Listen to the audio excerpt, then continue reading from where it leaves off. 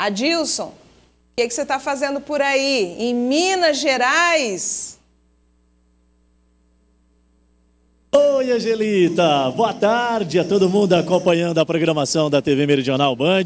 Eu falo aqui direto do Expo Minas. Expo Minas é um espaço multi-eventos, uma estrutura muito legal, onde está sendo realizada esta feira internacional, né? A Semana Internacional do Café. Está começando hoje, vai até a próxima sexta-feira. É a décima edição desse grande evento que movimenta o mercado, tanto a questão da produção do café, como também as perspectivas de comercialização.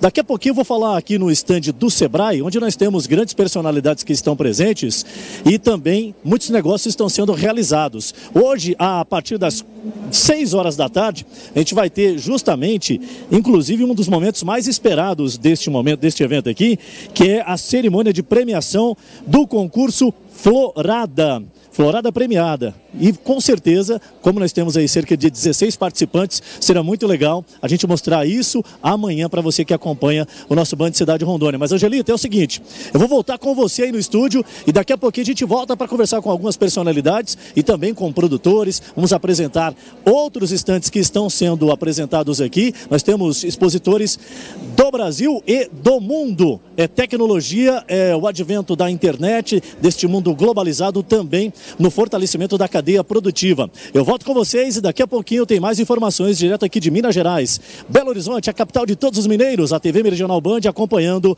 esta Semana Internacional do Café. Eu volto com você. Eita, Dilson, o cheirinho lá deve estar tá uma delícia. Cheirinho de café por todo lado. Daqui a pouco a gente volta com mais.